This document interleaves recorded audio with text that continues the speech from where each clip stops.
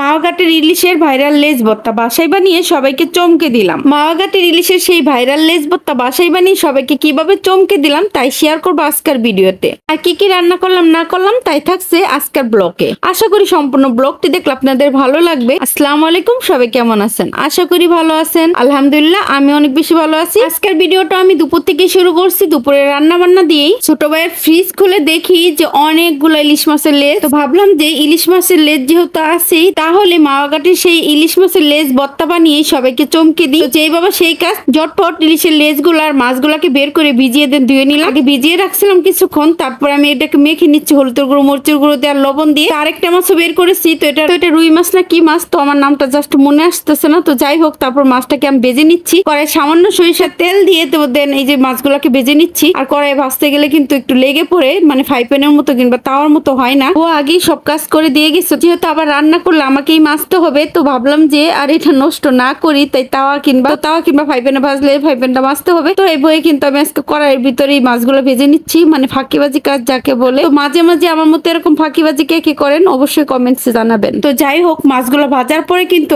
আমি এই যে পেঁয়াজ দিয়ে দিয়েছি তেলের ভিতরে আমি একটু জিরা দিয়ে দেন পেঁয়াজটা দিয়ে দিয়েছি। তো পেঁয়াজটা হালকা ভাজা ভাজা হলে এর ভিতরে মশলা দিয়ে মাছটা কষিয়ে নিব মানে এটা কষিয়ে নিব আর কি। তো যাই হোক, এই তো দেখেন পেঁয়াজটা কিন্তু ভাজা ভাজা হয়ে গেছে। এর ভিতরে সব মশলা দিয়ে দিচ্ছি হলুদের গুঁড়ো মরচি গুঁড়ো, লবণ, বাটা মশলা দিলাম। আদা বাটা, রসুন বাটা আর জিরা বাটা দিয়ে মশলাটাকে কষিয়ে নিচ্ছি। তো যাই হোক, এই তো দেখেন, আমি পানিটা দিয়ে দিচ্ছি। এটা কিন্তু মশলা বাটার পানি মানে রসুন বাটছিলাম, তো ওইটার পানি আর ব্লেন্ডার ধুয়ে ওটা রেখে দিছিলাম। তো যাই হোক মশলাটা কষানো শেষ। এখন মাছটাকে ঢেলে দিলাম। মানে হালকা ভেজে রাখা মাছগুলো মাছগুলো কিন্তু আমি হালকাই ভেজে নিয়েছি। অত কড়া ভাবে বাজি নাই। তো এগুলো হালকা ভেজে ভুনা করলে অনেক বেশি মজা লাগে। তো মাছটাকে হালকা কষিয়ে এর ভিতরে জল দিয়ে দিব। তো এই তো কষানো ফাঁকে কিন্তু আমি ইলিশ মাছটাকেও ভেজে নিচ্ছি আরেকটা চুলাই তো এই যে দেখেন, ইলিশ মাছগুলোকে দিয়ে দিচ্ছি, আগে যেহেতু মেখে নিছিলাম। তো এখন যার সরিষার তেলে, ইলিশ মাছের লেজ লেজগুলো ভেজে নিচ্ছি। আর আপনারা অবশ্যই সরিষার তেলে ভাজা ট্রাই করবেন মাছগুলো। বিশেষ করে ইলিশ মাছ ভর্তা বানান কিংবা খাওয়ার জন্য। যেহেতু এটা ভর্তা বানানো হবে, তো সরিষার তেলে ভাজবেন। আর মাওয়া ঘাটের লেজ ভর্তা কিন্তু সরিষার তেলেই বানায়। আপনারা হয়তো মাওয়া ঘাটের নাম শুনছেন বা দেখছেন